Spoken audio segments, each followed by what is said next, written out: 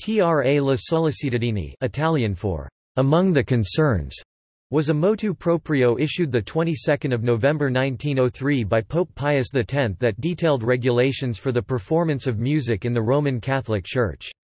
The Italian translation of TLS is the source of the key phase, active participation, that was later repeated in the Second Vatican Council's Constitution on the Sacred Liturgy 1963 that launched a far-reaching transformation of Catholic Church liturgy, although the official Latin version refers to vehement or ardent participation.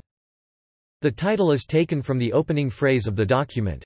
It begins, "...among the concerns of the pastoral office a leading one is without question that of maintaining and promoting the decorum of the house of God in which the august mysteries of religion are celebrated."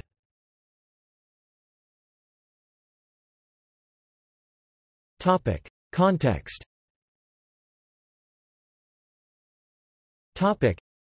By the late 19th century, operatic church music was dominant in Italy. Churches were known to set Latin texts to such secular favorites as the sextet from Donizetti's Lucia di Lammermoor or the quartet from Verdi's Rigoletto, a movement for liturgical reform, including scholarship devoted to early church practice and Gregorian chant performance, had developed over the course of the 19th century. Local jurisdictions implemented changes independent of direction from the Vatican. Earlier in his career Pope Pius taught courses on liturgical music and chant to seminarians. In 1888, as Bishop of Mantua, he removed women from church choirs and ended the use of bands. A few years later as Patriarch of Venice, he ended the use of a popular setting of «tantum ergo» and instituted Sunday Vespers chanted by a choir of men and boys.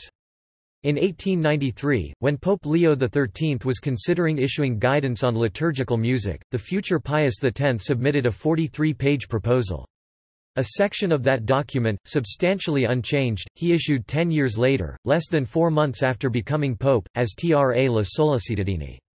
The new rules were adopted more readily in Italy, where the introduction of secular music had been greatest.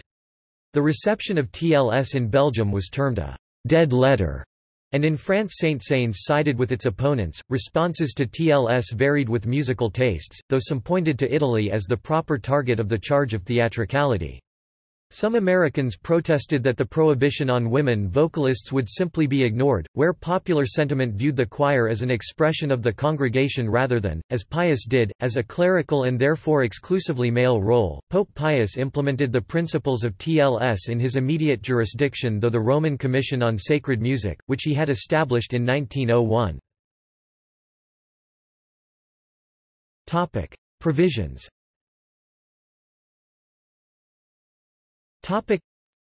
TLS reaffirmed the primacy of Gregorian chant, which had largely fallen out of favor, and the superiority of Renaissance polyphony, especially that of Giovanni Pierluigi da Palestrina, over other, later polyphonic music.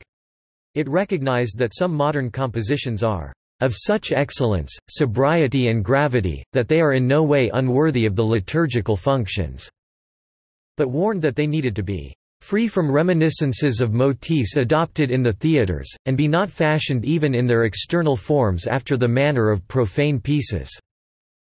Texts of the variable and common parts of the liturgy should always be in Latin and sung, "...without alteration or inversion of the words, without undue repetition, without breaking syllables, and always in a manner intelligible to the faithful who listen."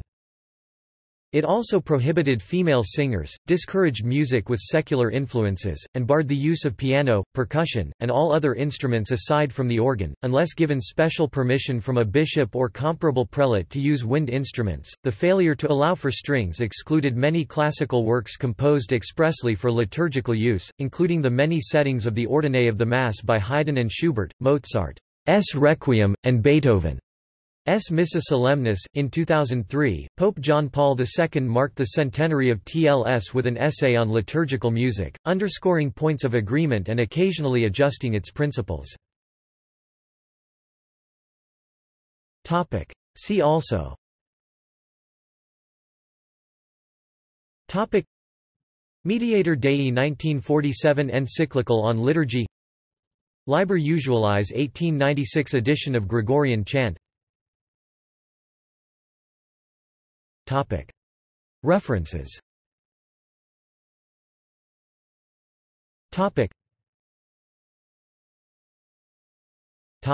External links.